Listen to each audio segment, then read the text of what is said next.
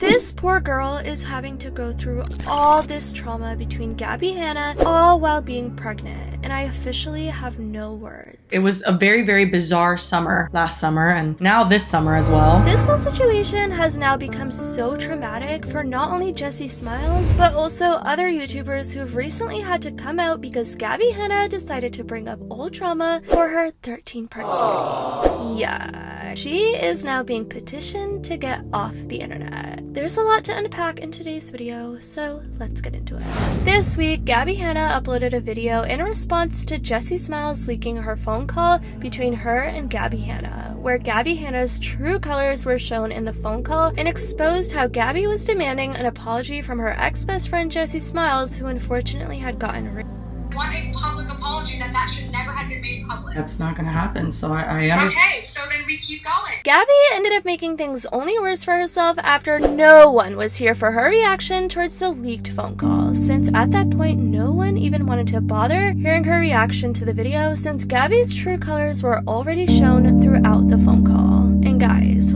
More sad is that Jessi Smiles posted a couple of weeks ago how she doesn't want to be in any more drama involving Gabbie Hanna, since not only is she pregnant and trying to live her life, but she also doesn't want to be constantly reminded of the trauma that she had to go through with her rape.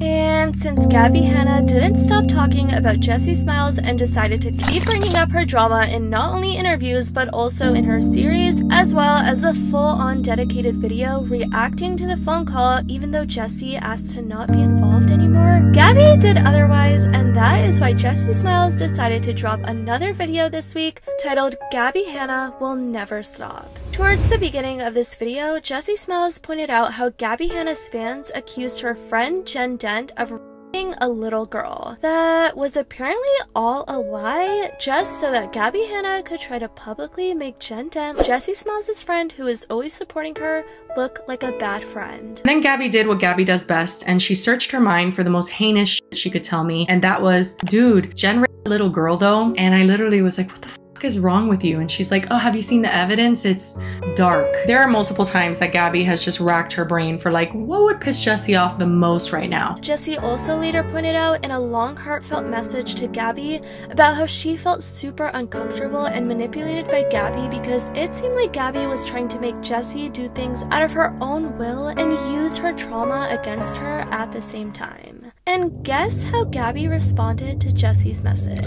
A pretty long text message that was relaying how uncomfortable it made me feel, that she was trying to manipulate me to do things that she wanted by holding our past over my head. I thought that that was awful and that also I was really disturbed with the information that I had found out about Curtis and about her relationship to him. And I wanted to be concise with my thoughts and honest and just try to get my point across as best I can. And Gabbie didn't even read the message. She's like, oh, that's a novel. Like, my god. It gets worse. Throughout the rest of this video, Jessi explained how she was going to end up responding to Gabbie and try to debunk all her lies. Here were some of the main points Jessi pointed out about Gabbie Hanna and her tactics. Gabbie Hanna has, against my will, delivered my truth one too many times, and pardon my French, but she's it up every time. So if Gabbie feels like she can talk about my trauma, she can bring it up, she can talk about the night I was raped and that has literally nothing to do with this. If she has the right to do that, then I feel like I have the right to be sitting here and talking about what really happened. She's predictable. I have to be honest, I genuinely don't understand this statement at all. Gabbie started creating this series in March. She started filming this series in March. Do you know what I was doing in March?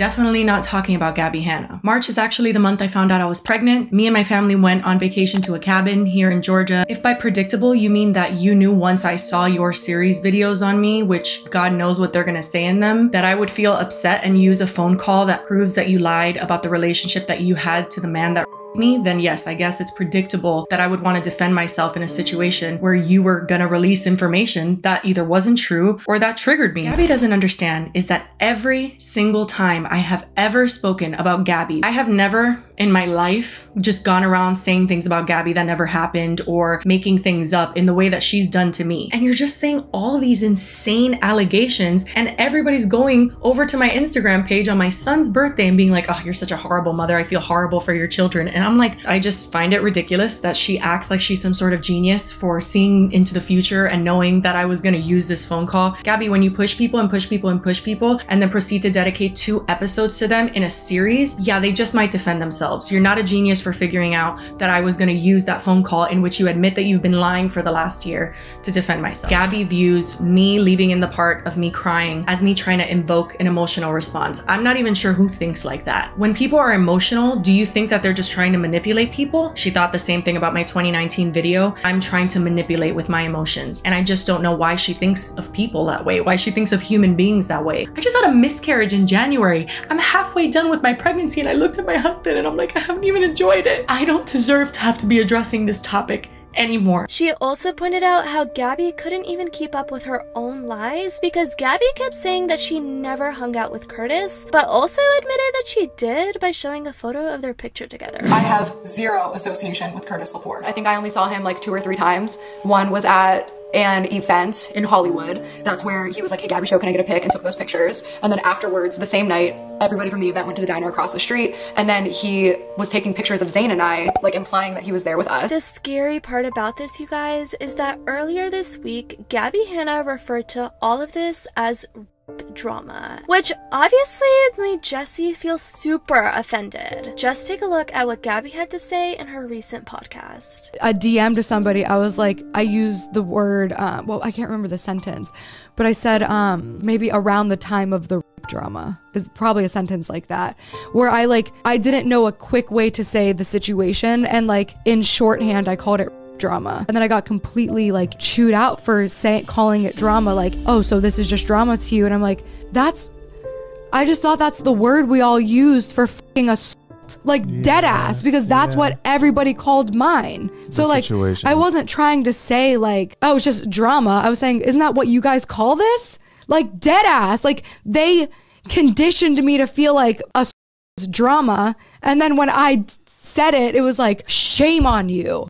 Drama she's referring to is my assault and the media and public fallout from it in 2014 when I was harassed and bullied for years over ever speaking up. She said she felt isolated being my friend around that time. Her message was to a 15 year old girl. This is gross. After Jessi's video, Gabbie went trending once again with many people giving their final thoughts on Gabbie Hanna and her true colors. Here's what many people had to say. Gabbie Hanna has no more moves. She tried it over and over again. It failed. Jessi Smiles debunked everything. It's done. Gabbie Hanna has no more receipts to twist. Wishing Jessi Smiles a happy rest of her pregnancy.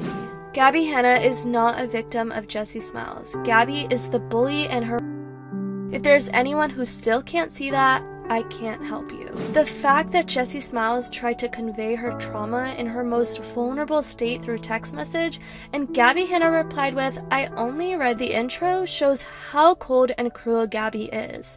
This is narcissistic abuse at its best. Anyways, I definitely want to know what you guys think about this whole situation. Definitely let me know your thoughts in the comments down below. I love you guys so much, and as always, I'll see y'all in the next video.